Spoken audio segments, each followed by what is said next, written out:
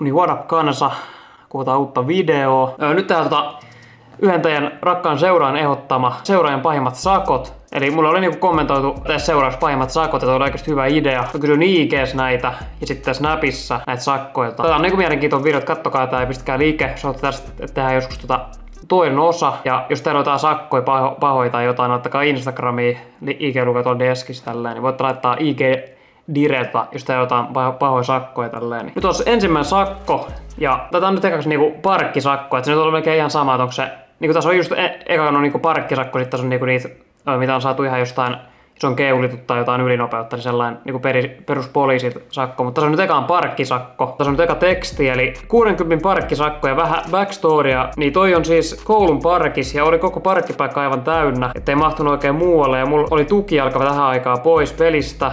Eli piti saada nojaa pyörä aitaan, niin joutu heittää tolleen. Et eturengas ruudun ulkopuolella. Tein valituksen ja sain kyllä rahat onneksi takaisin. Kaksi viikkoa myöhemmin sain samalta parkkipirkolta uuden parkkisakon. Samalla ei ole niinku toinen sakko, eli kaksi sakkoa.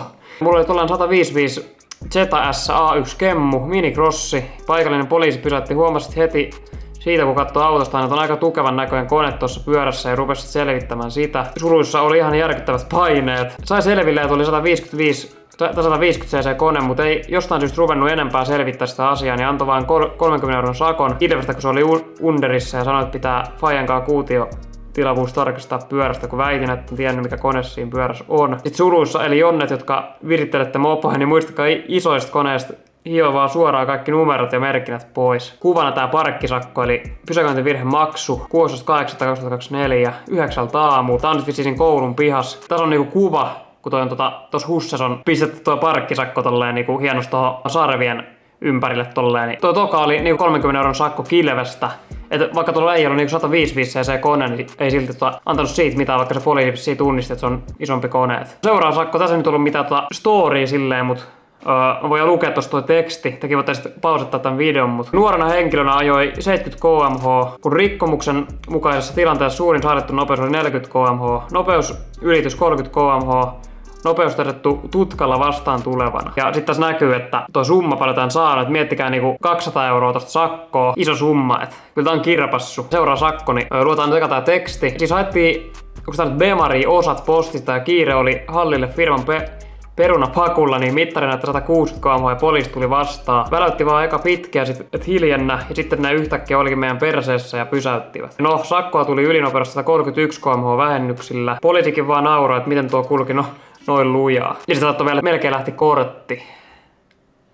Tässä on nyt vielä tää sakko. Pidun iso summa. Kyllä ärsyttänyt. Tänä vuonna vielä tapahtunut. Tää ei laitto vielä, että ai niin. Ja myöhemmin tuli vielä toiset 240 euroa postissa samasta tapahtumasta. Ja on vielä toiset 240 euroa postissa myöhemmin, niin 480 sakkoa. Kolmas sakko, niin tota, eli ajelin mopolla vaan kylällä ja poliisit tuli vastaan, niin päätin, päätin sitten karkuun lähtiä ja pääsinkin, mutta poliisit oli pysäyttänyt kaveri ja kaveri kertoi ja jäin kiinni. 72 euroa. Ne vastaan tuli mopolla annettu tunnuksellisesta poliisiautosta hälytysvalolla ja punaisella pyörätysvalolla pidätysmerkki. Ei noudattanut pysähtymiskäskyä. Valottomalla mopolla vaan ajoi karkuun. Tavoitettiin myöhemmin lähistöltä. Neljäs sakkoisut on oikein laskenut. Tosiaan kolme päällä, yhdellä ei kypärää. Meikä saa 140 euroa sakkoa ja kaveri kelle ei ollut kypärää, taisi saada 80 euroa. Kolme päällä, ei ole vielä kypäriä päässä, niin Tuo, toi, on, toi on aika paha. Sakosta kuva, eli 140 euroa sakkoa. Kuljetti mopoa Espoon keskustassa Pappilon tiellä. Kyydissä kaksi matkustajaa itsensä lisäksi. Toinen matkustaja oli kyydissä ilman suojakypärää joo. Ja sitten täällä on vielä kuva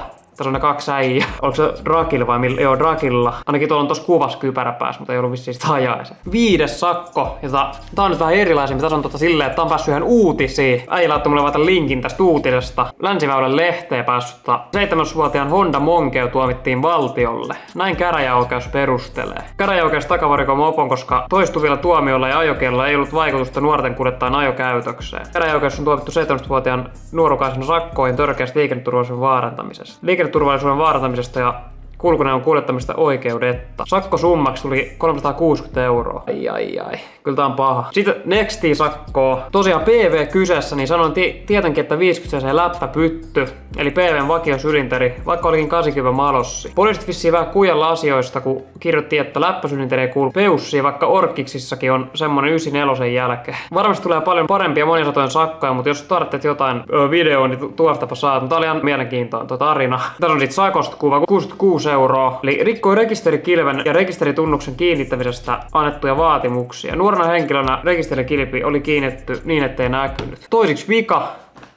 Sakkoja tota, ei ole sakkoa, kun tulee vasta käräjillä, mutta kortti on pois kahdeksan kuukautta. Ja kilvet lähti tietysti kans. Feidattu ketis peräs tarrallinen Skoda, Siivari Volkkari, Enska Poliisi ja H2. Täällä ole niinku sakosta kuvia, mutta täällä on jotain klippejä taas just, ja tota, siellä on niinku MPtä ja Volkkarin lisäksi niin on just tää Skoda vielä ja vähän pitkä tuo lappu, iltasatu. Tää on ollut varmaan hyvä iltasatu lukea. Muutenkin ketis, niin mä uskon, että tästä tullut isot asiat. Ai, ai, älkää vetäkö niitä ketiksiä pois. 93 KMH, ö, 50 alueella ylempi. 240 euroa sakkoa, koska ei näkynyt yli 10 kuukauden tuloja vuodessa. Vielä ei tiedä muuttuuko törkeäksi, katso tuleeko enemmän sakkoa. Ajo 90 kmh, kun rikkoi mukaisessa tilanteessa suuren sallitun, joo, ylitys 40 kmh, nopeus todettu tutkalla. Olikohan tää nyt se 240 euroa? Voi olla. Mä haluan tämän loppupiste mun oman sakon. Mä muistin, että mä oon saanut tämmösen joskus miltä pari vuotta sitten. Tosissaan keulin MPtä vastaa keula suoralta. on se Espoon tota Fortum, se yksi tunnetun suora. Niin Tuossa ehkä ylhäällä näkyy, että lukee jotain tekstiä, että niinku ajon hylkeen pyytäjän tiellä, etupyörä ilmassa keulien. Sitten rauhallinen liikenne tapahtumassa, ei muita ajoneuvoja.